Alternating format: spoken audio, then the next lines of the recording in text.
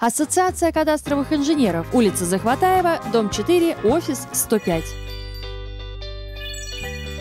Владельцы карты «Стрелка» теперь могут получать информацию на рабочем экране смартфона, при этом не заходя в мобильное приложение.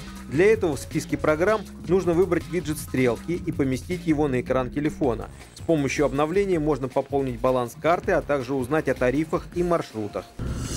3 июня в субботу объявлен единый день диспансеризации. Акция одновременно пройдет во всех поликлиниках района. Приглашают всех желающих, в особенности, чей возраст в этом году делится на 3, то есть 21, 24 и так далее. Остальные смогут пройти профосмотр, сделать ЭКГ, флюорографию, маммографию, УЗИ органов брюшной полости и сдать клинические анализы. Специалисты будут принимать с 9 до 3 часов дня.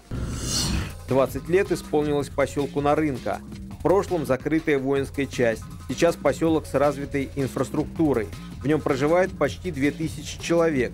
Юбилей местные отметили в большом кругу. На площади возле клуба провели фестиваль национальной кухни, а вечером был праздничный концерт и салют.